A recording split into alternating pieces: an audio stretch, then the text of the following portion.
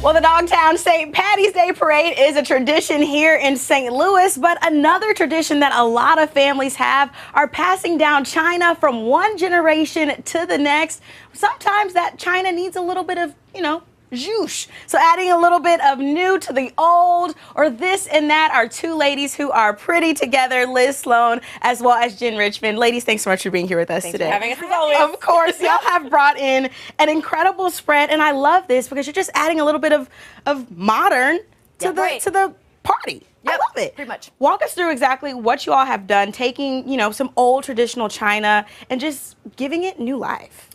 Well, our goal is that we want people to actually use their china. I think that in so many cases, china gets passed down through the years, and then everyone's scared to touch it and scared to use it. Um, and then it just what sits in a box or in a cabinet or in the basement for years on end. And um, and what what good is that doing anybody? I know it's all about putting it to good use, and china is really some of the best items that we can use when it comes to sitting down and eating a dinner with our family, right? Absolutely. Honestly, people are scared to use china, but it is actually the strongest of the plates and dishes that are out there. It goes stoneware, porcelain, and then china as in strength. So you should not be afraid to use that china and put it out on a table. No time like the present, right? Right. Exactly. I know we're coming up on Easter and Mother's Day, and like it's time to like bring out some of the china, make it cute. And this is exactly what y'all, you all have done. And I love this one over here. This one's really colorful. It's bright. Right. Walk us through how you guys went in and actually took the old china and paired it with some new, fresh, and fun life. All right. Well, that this guy down at the end, the, the kind of plainer one, is actually my nanny's china. Oh, I love that.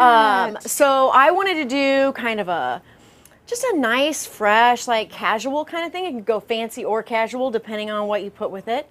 Um, this here is It's super cute. This is my friend Kathy's mom's china, which I adore. Those Uh, that so fuchsia, pretty. That is fuchsia, just like it had me at fuchsia, so I couldn't resist doing polka dots with it. I love and I love Pattern that combo. mixing. It's like Yeah. fun, fact. Fun Exactly. And funky. There we go. Yep. And y'all say really don't be afraid to mix patterns. Oh, Everything doesn't have to be matchy matchy. Oh, never, never. In fact, that's the why a lot of people don't like china sets, mm-hmm. right? Because you've got the dishes and the pepper shaker and the gravy boat and the, all the things, and The it teacups feels and the saucers It and the- feels could just keep going. really overdone, but instead of like Liz said, hiding it in the basement, just take one or two pieces out. They can actually be fabulous, like on their own. I, and I love that. And speaking of the fabulosity on their own, y'all have used a lot of white over here. You've mixed the patterns and textures over here, but you don't see a lot of black china or those darker colors. Right. Walk us through what But you yeah, I love here. personally. I love this one. It had kind of an Asian feel. So, Mm-hmm. like Jen said, these two were her families. But I just went to an antique store and picked up these other plates that you see. Um, and I saw that one, and I just thought, let's just really go with this Asian theme, which is why I've placed the modern flatware, kind of like you would place chopsticks, which Um, is super cute. but with this like really modern glass from Crate and Barrel or this magnolia plate from Target. Like none of it. This is all stuff that you can put together. Mm. I I think this napkin is sur la table. Like anybody can do this. This is all stuff that's available to anybody to purchase. I love that. Mixing and matching, just making everything be pretty and together. Right. From the ladies from Pretty Together. well, you all do a lot when it comes to just adding life to what we already have at home, whether it's recipes or china or celebrating the holidays. If people at home they're interested in learning more about what you all do, where can they find you? they can go to prettytogether.com or you can follow us on Instagram at We Are Pretty Together.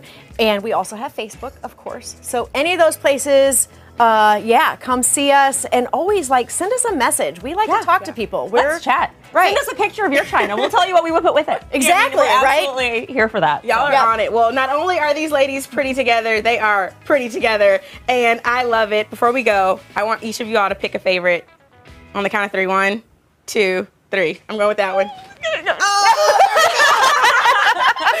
St. Louis, so make sure you have access to all of their information on our website. It's studiostl.tv. It's right there on your screen, prettytogether.com, and show them some love on Facebook and on Instagram at Pretty Together, and we are pretty together.